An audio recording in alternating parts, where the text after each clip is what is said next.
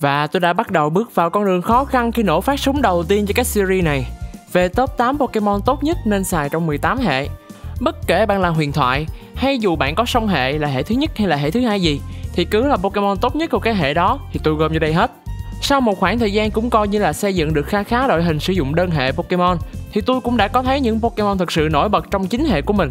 Các bạn muốn xem sơ sơ qua thực chiến thì có thể xem qua chủ series đánh răng mỗi tuần của tôi hen. Và đây sẽ là ý kiến trải nghiệm cá nhân của tôi mà thôi. Và vẫn cần rất nhiều ý kiến riêng của mọi người về top 8 để có thể có cái nhìn khách quan nhất. Sức mạnh của hệ đất sẽ mở đầu cho chuỗi series dài hơi này. Bên cạnh đó thì hơn 70% những nhà huấn luyện nào đang chần chừ hoặc là lỡ quên thì cũng đừng ngần ngại nhấn nút chuông đăng ký và nút thông báo để không bỏ lỡ những chuỗi video tiếp theo mà tôi sẽ ra mắt hàng tuần trên kênh cùng với tập tiếp theo của series này nhé. Bây giờ thì hệ đất đâu? Thời của mấy em tới rồi đó.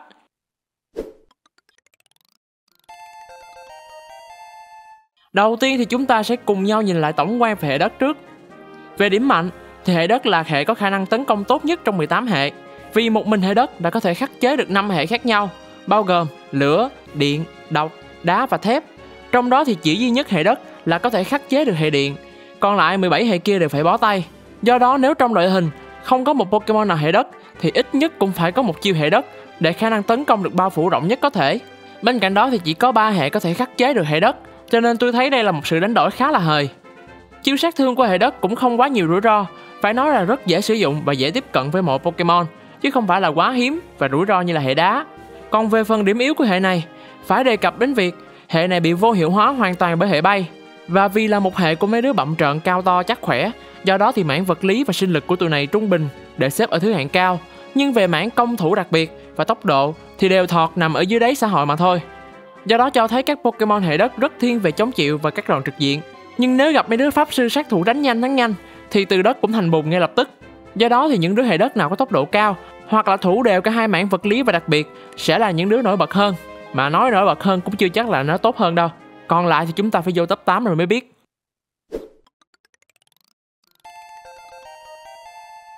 Ở hạng 8, trong danh sách này thì tôi phải tuyên dương và khen thưởng cho gấu nâu Ursaluna của vùng Hisui. Ursaluna có một bộ chỉ số thuần túy của những Pokemon hệ đất hay mang bên mình. Sinh lực dồi dào, công vật lý khủng bố, phòng thủ vật lý cứng cáp để trụ sân.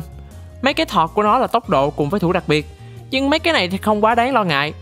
Vì thật ra vai trò của Ursaluna là một con quái thú săn mồi đáng sợ ở trong Trick Room. Trước hết thì nó có đặc tính Guts, giúp tăng 50% công vật lý nếu bản thân đang bị dính trạng thái xấu. Và trang bị mà mọi nhà huấn luyện đều phải mang cho Ursaluna đó chính là Flame Off để kích hoạt được trạng thái bỏng sau lượt đánh đầu tiên. Tức là Barcelona chỉ cần bảo vệ bản thân ở lượt đầu để có thể kích hoạt được trạng thái bỏng từ trang bị và chờ đồng đội sử dụng Trick Room thành công thì với cái chỉ số tấn công ngang hàng huyền thoại của nó là có thể quét sạch mọi đối thủ ngắn đường. Chưa hết, vì mang theo hệ thường và học được chiêu Shot, chiêu này sẽ tăng gấp đôi sức mạnh từ 70 lên 140 nếu Pokemon sử dụng đang dính trạng thái xấu. Giống như là mọi điều kiện thuận lợi đều có sẵn, chỉ cần Ursaluna sống sót được trong lượt đầu tiên. Và thật khó để đối thủ nào còn nguyên vẹn dưới bàn tay của con quái thú này. Chiến thuật thì đơn giản và dễ đoán, nhưng thật khó để có thể ngăn chặn nó trừ khi ta có Urshifu nước và kết liễu Ursaluna ngay lượt đầu tiên. Nhưng với sinh lực và phòng thủ vật lý như trên thì khai trừ được Ursaluna trước khi nó hóa quái vật là một điều rất khó khăn. Với sức mạnh và chiến thuật dễ sử dụng như vậy, chỉ có điều nó là Pokemon thời Hisui nên việc đưa nó lên các giải đấu chuyên nghiệp còn khá ít và nó cũng mới đây thôi nên nó vẫn chưa thể hiện được gì nhiều thì lên sinh chính người anh họ hàng xa của nó đã xuất hiện và chiếm hết spotlight, và ta sẽ nói đến nó trong thứ hạng tiếp theo.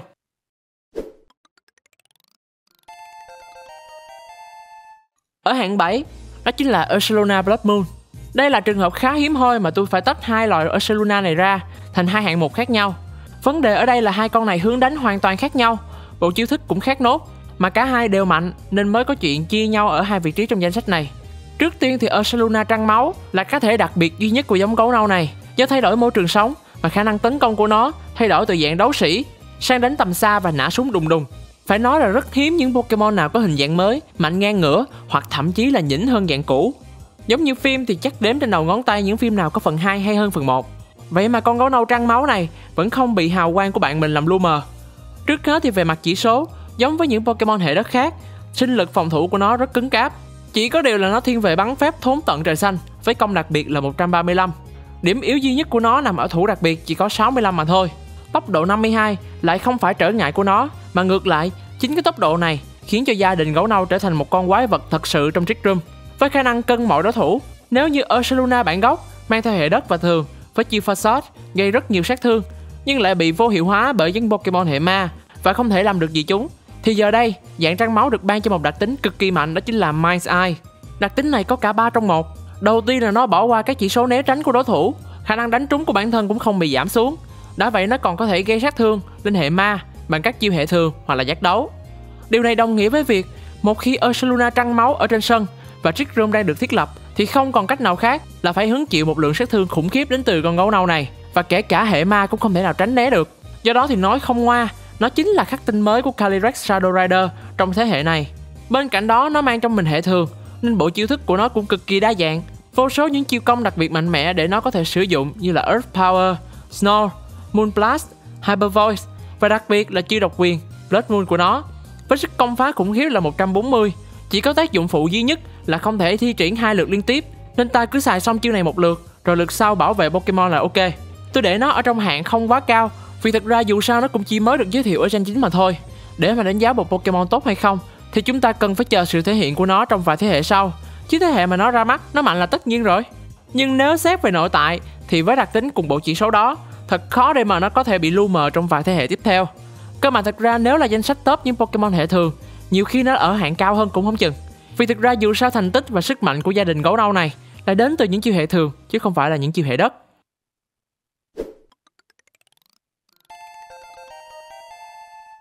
Ở hạng 6 thì chúng ta sẽ nhắc đến Thiên Lưu. Tôi biết thì tôi có nói về việc xem xét đường dài thì mới biết được Pokemon đó có tốt hay là không. Nhưng sức mạnh của Thiên Lưu không phụ thuộc vào cơ chế chiến đấu của thế hệ đó như là Terabagos hay là Okapon. Sức mạnh tự thân của tứ hung hoàn toàn nhờ vào một bộ chỉ số và đặc biệt là đặc tính cực kỳ bá đạo của tụi nó tạo ra.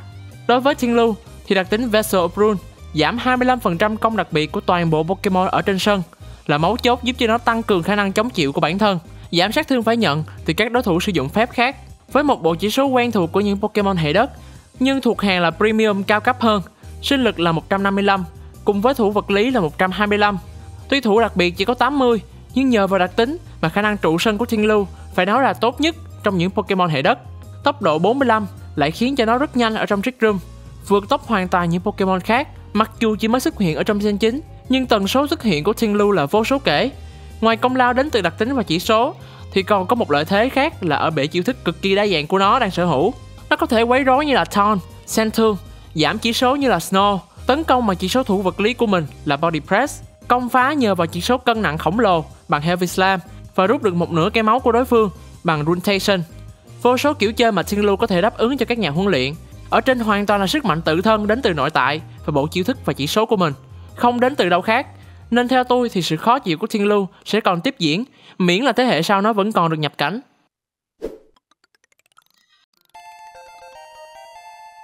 Ở hạng 5, Pokemon tiếp theo mà chúng ta sẽ tuyên dương trong danh sách này đó chính là Excadrill. Nhưng mà phải công nhận là hệ đất con nào cũng được thiết kế ngầu lòi không ha. Để mà nằm vào cái top này, theo tôi thì Pokemon đó phải có một khả năng đặc biệt mà những con khác khó có thể nào có được. Cộng với việc nó phải làm cực tốt cái khả năng đó hơn bất kỳ ai. Và Excadrill chính là cái tên đó với khả năng rải đá thượng thừa của mình. Chưa hết, thì Escadrille có hai đặc tính rất tốt trong chiến đấu. Một là Senros, tăng gấp đôi tốc độ của mình ở trong bão cát. Hai là Mo Breaker, tấn công bỏ qua tất cả các đặc tính của đối thủ, bao gồm là chặn chiêu ưu tiên, tăng khả năng trụ sơn của Pokemon đó, nó đều có thể bỏ qua hết. Và chiêu Rock Slide chính là chiêu không thể nào thiếu của Pokemon này. Chiêu này mang hệ đá và có sát thương 75 thôi, nhưng sẽ có 30% khiến đối thủ bị nao núng và không thể tấn công ở trong lực đó một tỷ lệ cực cao với hiệu ứng khống chế cực kỳ khó chịu. Nhưng để mà thành công thì Pokemon phải đánh trước đối thủ. Do đó thì đặc tính Sandrush tăng gấp đôi tốc độ ở trong bão cát khi đi chung với Tyranitar, gọi ra bão cát sẽ là một combo ác mộng và dễ chơi dễ xài nhất. Tuy nhiên thì đặc tính Mo Breaker lại có tỷ lệ sử dụng nhiều hơn Sandrush. Đa phần người chơi muốn sử dụng Escadrille sẽ cho nó cầm theo trang bị Choice Cap để tăng 50% tốc độ, nhưng đổi lại Pokemon chỉ được sử dụng một chiêu thức trong một lần đảo ra sân mà thôi. Nếu muốn đổi chiêu thì phải rút về bóng và trở ra trở lại. Nhưng người chơi qua từng năm vẫn luôn muốn chọn cách chơi hơi rủi ro này hơn là cho nó đi với bão cát. Vì Mo Breaker sẽ giúp tấn công những Pokemon có đặc tính lơ lửng như là Levitate, một đặc tính miễn nhiễm những chiêu hệ đất, hoặc tấn công thẳng vào các đặc tính như là Multiscale của Dragonite mà không sợ bị giảm 1 phần 2 sát thương. Đặc biệt là hạ gục được Mimikyu với đặc tính Disguise, một đặc tính cực kỳ khó chịu khi sẽ nhận toàn bộ sát thương cho Mimikyu ở trong lần tấn công đầu tiên. Nói chung là nó có khả năng bỏ qua mọi trở ngại về đặc tính để có thể kết liễu đối phương một cách nhanh chóng nhất. Còn Sandros thì phải phụ thuộc vào thời tiết nên có khi còn rủi ro hơn. Mà để làm được tất cả những điều trên thì Excadrill phải là một Pokemon đánh đủ đau mới có thể được sử dụng nhiều đến như vậy trong các giải đấu. Với công một lý là 135, không còn nghi ngờ gì nữa về khả năng xuyên giáp và phá tường kết liễu của nó. Tốc độ 88 khi cầm theo trang bị Choice Scarf sẽ là một Pokemon tấn công nhanh và khống chế đối phương cực kỳ khó chịu. Bởi chiêu thức của nó cũng bao gồm Iron Head, Earthquake, Rock Slide, gần như là tấn công bao phủ hơn 50% số lượng hệ của Pokemon. Đặc tính Mo Breaker giúp nó không có trở ngại nào trong việc tấn công luôn, cho nên không phải tự nhiên dù được ra mắt ở Gen 5, nhưng mùa giải nào cũng có sự góp mặt của Excadrill. Đỉnh điểm vào năm 2020, số lượng sử dụng Excadrill trở nên nhiều hơn vì nó có thể vừa khắc chế được Tyranitar, vừa có thể đi chung đội hình để có thể hỗ trợ tấn công. Và nó cũng là khắc tinh toàn diện đối với một Pokemon mạnh mẽ khác là Togekiss thời điểm đó.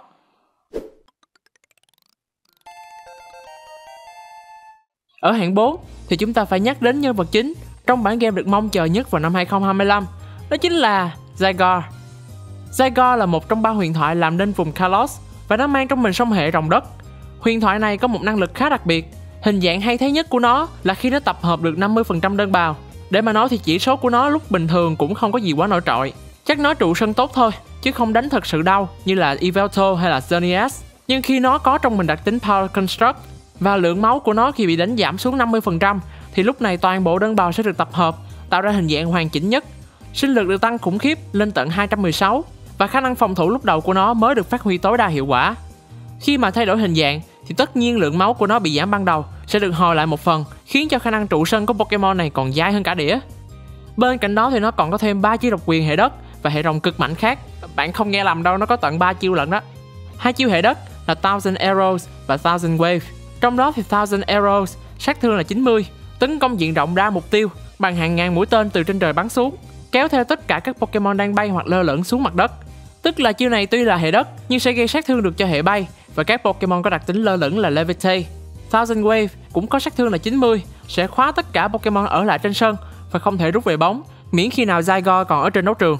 Còn chiêu hệ rồng là Core Enforcer, có sát thương là 100. Nếu tấn công sau đối thủ thì nó sẽ xóa bỏ mọi đặc tính của đối phương cho đến khi nào nó vẫn còn trên sân. Phải nói là ba chiêu độc quyền này cực kỳ khó chịu và đáng sợ. Cơ mà đa phần tôi sẽ thấy người ta sử dụng hai chiêu hệ đất nhiều hơn, vì như ta đã nói ở trên, hệ đất chỉ có điểm yếu là vô hại với hệ bay và ít chiêu tấn công mạnh mà thôi. Giờ đây thì hai điểm yếu đó đều bị loại bỏ hết, để lại một huyền thoại vừa trâu bò, vừa thủ tốt cả hai mảng vật lý và đặc biệt. Sức công phá thì không quá ấn tượng, nhưng lại tấn công được những Pokemon không sợ đất, làm đa dạng hơn khả năng bao phủ sát thương của bản thân. Tuy nhiên thì nó ở hạng này trong cảm nhận của tôi cũng có một vài lý do. Qua các năm thì nó cũng góp mặt trong một vài đội hình, nhưng không quá bùng nổ. Một phần là vì nó chỉ có thể chống chịu và cấu máu tốt thôi, chứ mà để kết liễu đối thủ theo tiêu chuẩn của một huyền thoại thì vẫn không thể. Hình dạng hoàn thiện của nó mới ra mắt hồi cuối Gen 7, đầu Gen 8, mà cái thời đại các Pokemon huyền thoại Ultra Beast với khả năng tấn công bùng nổ chấp nhoáng, tiến hóa Mega cũng vào cuộc luôn. zygo thì chỉ giỏi trụ sân, còn lại vẫn phải cần đồng đội hỗ trợ dọn dẹp đối thủ, nên vẫn là một lựa chọn khá mạo hiểm, thay vì người ta sẽ chọn Primal Kyogre hoặc là Primal Groudon. Qua đến thế hệ 8 thì có Zacian, Thép Tiên, thống trị đấu trường, sát thương khủng khiếp và Calyrex hiệp sĩ băng, khắc tinh cứng hệ rồng đất của Zygar. Thành ra đó cũng là lý do vị thần này không được ưa chuộng lắm. Hy vọng thì Pokemon Legends Z2A sẽ cho chúng ta thấy một bước chuyển mình của Zygar, thoát khỏi thời đại thống trị của những tên tuổi quá lỗi game như hiện tại.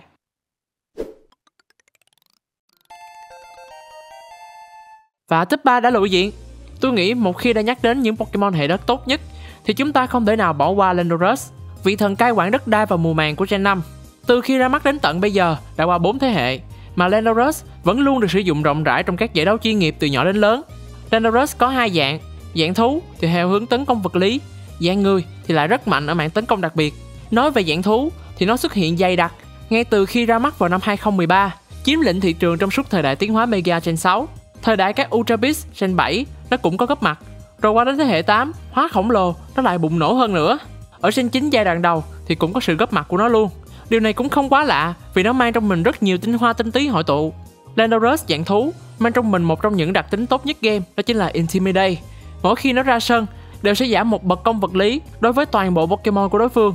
Giờ tụi Pokemon có đặc tính này chỉ cần có một chiêu thức hay là điều kiện giúp tụi nó đảo ra sân liên tục thì đặc tính này sẽ luôn được kích hoạt và có thể hạ bệ được khả năng tấn công của đối phương, coi như là hoàn hảo và cũng không làm các nhà huấn luyện thất vọng nó đã học được chiêu U-turn, một chiêu thức gây sát thương và đảo đồng đội ra sân cực tốt, giúp chúng ta có thể tiết kiệm số lực đánh và tận dụng được cơ hội do đồng minh phản đòn. Song hệ đất và bay, tôi cũng đã nói qua trong video về những song hệ mạnh nhất, các bạn có thể qua đó xem kỹ hơn ha. Song hệ này gây sát thương lên được 8 hệ khác nhau và bên cạnh đó thì bổ sung khả năng phòng thủ cho nhau khi mà miễn nhiễm được sát thương từ hai hệ là điện và bay. Tuy là bị nhân hai sát thương bởi nước và đặc biệt là nhân bốn sát thương bởi hệ băng, nhưng không quá đáng sợ vì ở những thế hệ trước, hệ băng khá là yếu nên trên đấu trường rất ít đối thủ hệ băng đáng sợ xuất hiện. Nhưng dù cho là có đi chăng nữa thì Landorus vẫn có một bộ chiêu thức đủ đa dạng để khống chế khắc tinh của mình như là Rock Slide, Earthquake, Outrage và rất nhiều chiêu khác. Cuối cùng là với khả năng tấn công vật lý là 145, đúng chuẩn huyền thoại của mình. Nó đủ sức tàn phá bất kỳ đối thủ nào. Nhờ vào rất nhiều yếu tố mạnh mẽ gộp lại, khiến cho Landorus dạng thú luôn là hệ đất hoàn hảo nhất cho người chơi lựa chọn. Đó là chưa kể đến Landorus dạng người. Hình dạng này thì hơi bị lép vế ở mấy thế hệ trước so với dạng thú một chút. Nhưng khi ở gen 9, hệ băng đang trên đà lấy lại vị thế và Incineroar đang là Pokemon sử dụng đặc tính Intimidate tốt nhất, dạng thú lại phải nhường hào quang lại cho dạng người thay thế. Dạng người thì với đặc tính Sheer Force kết hợp với trang bị Life Up đã tạo ra một lượng sát thương khổng lồ ở mạng đặc biệt. Khi mà đặc tính và trang bị này kết hợp với nhau, nó sẽ tăng độ ra sát thương của Pokemon lên tận 69%. Điểm yếu hệ băng cũng được khắc phục hoàn toàn nhờ vào cơ chế Terra thay đổi hệ ở trên chính. Do đó phải nói rất ít có Pokemon nào mà cả hai hình dạng của nó đều đủ mạnh để có thể thay phiên nhau chiếm lĩnh đấu trường như là Randoros. Nên nó là một Pokemon xứng đáng để các bạn có thể sử dụng cho vị trí hệ đất trong team nếu mà có cơ hội. Còn vị trí hệ bay thì hơi thọt chút xíu nha, nó không có gì hệ bay nào tốt hết trơn á. Và tới áo quân thì tôi cũng sẽ nghĩ là tôi sẽ gọi tên Garchomp. Yeah, dạ, tôi không biết là có tranh cãi hay không. Nhưng trước tiên phải nói đến việc đánh giá một Pokemon tốt hay không. Chúng ta cần phải xem đường dài của nó qua nhiều thế hệ để xem nếu nó giữ phong độ tốt thì đích thị nó là một Pokemon cực kỳ tốt. Còn khi đánh giá trong đúng thế hệ của nó được giới thiệu thì sẽ khó mà đúng được. Vì lấy ví dụ như là Zacian làm rất tốt ở Gen 8 dù nó có bị giảm chỉ số hay là dìm đặc tính đi chăng nữa thì một trong những khả năng giúp nó bùng nổ trong thế hệ đó đó chính là chiêu độc quyền sẽ tăng gấp đôi sát thương khi tấn công những Pokemon đang hóa khổng lồ. Tức là sức mạnh của nó phụ thuộc vào cơ chế cốt lõi của thế hệ đó rất nhiều. Qua thế hệ mới, một cơ chế mới được giới thiệu thì cũng đâu lại vào đấy. Nên việc bị dìm chỉ số và đặc tính như là một giọt nước tràn ly với Zacian mà thôi. Nói nhiều như vậy là để chứng minh việc dù nó xuất hiện từ hồi Gen 4, tức là gần 20 năm kể từ khi ra mắt, Garchomp vẫn luôn là nỗi ám ảnh, không những trong phần đi game cốt truyện mà còn trong cả các trận đấu chuyên nghiệp. Với chỉ số của một Á thần thì Garchomp được ban rất nhiều đặc ân về tốc độ và khả năng tấn công cũng như là sinh lực dồi dào. Phải nói là nếu đội hình bạn đang cần một Pokemon tấn công vật lý, một Pokemon hệ đất để các chiêu hệ đất bao phủ sát thương rộng của mình được cộng thêm Stab, rồi còn là đủ nhanh để ra đòn. Vì đa phần các Pokemon hệ đất rất chậm, thì Garchomp chính xác là sự lựa chọn hoàn hảo nhất, nên đó cũng là lý do mà nó xuất hiện rất là dày đặc. Phải nói là trên mọi nẻo đường, trong các giải đấu từ năm 2012 đến tận bây giờ đều có sự góp mặt của nó. Nó cũng đem về hai lần chiến thắng chung cuộc trong các giải đấu vô địch thế giới của năm 2012 và 2014. Bùng nổ nhất có lẽ vào năm 2017, thế hệ 6, khi đi đâu cũng thấy người ta sử dụng Garchomp vì họ cần một Pokemon đủ nhanh, đủ mạnh để khắc chế Tapu Koko hay là các Tapu khác. Khi đi chung với lại đồng đội Ultra Beast, Stelia thì nó có thể thoải mái sử dụng chiêu động đất và tiễn các Pokemon khó chịu thời điểm đó như là Tapu Koko ga Kể từ năm 2017, tuy vai trò của Garchomp không được nhiều như trước nữa, nhưng vẫn chưa có Pokemon nào hệ đất đủ nhanh và đủ mạnh lại còn học được rất nhiều chiêu thức để khắc chế điểm yếu của mình như là Garchomp. Sức mạnh của nó thì vẫn luôn được update, điển hình như là có thể tiến hóa Mega. Mặc dù thì cái dạng Mega này được đánh giá là thọt hơn cái dạng chính, chỉ vì tiến hóa Mega mà tốc độ của nó lại thấp hơn bình thường, nên là ít ai xài. Tuy vậy thì cũng khó để cho người chơi có thể bỏ qua Garchomp được. Đến tận năm 2023, ta vẫn còn thấy vai trò tấn công vật lý hệ đất của Garchomp trong rất nhiều đội hình. Dù cho lúc này hệ băng đang lên ngôi vào tranh chính, 2024 thì Garchomp có vẻ đang lép vế hơn về sức mạnh vì sự xuất hiện của các paradox không còn chỗ cho nó nữa. Nhưng tôi nghĩ đó chỉ là nhất thời và vẫn cần chờ có tương lai để xem vị thế của nó có lấy lại được hay không nữa.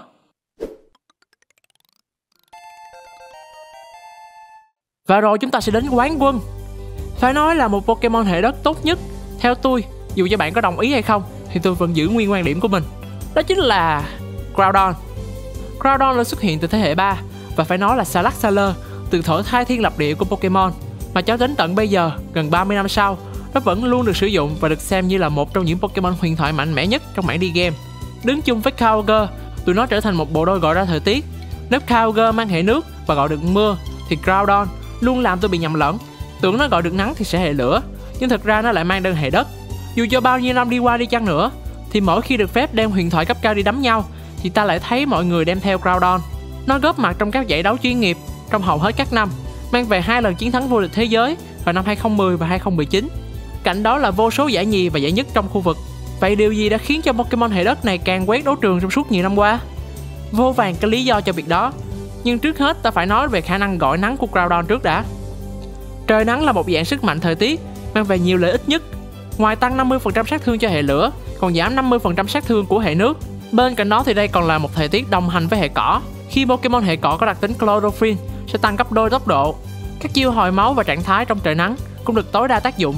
Nên ta sẽ rất hay thấy Groudon đi chung với Venusaur để có thể tận dụng được triệt để đặc tính Chlorophyll. Hai hệ này bổ sung điểm yếu qua lại cho nhau rất tốt. Còn nói về bản thân về sức mạnh của Groudon, với bộ chỉ số xứng danh huyền thoại, công vật lý là 150 và thủ vật lý là 140, khá truyền thống đối với những Pokemon hệ đất.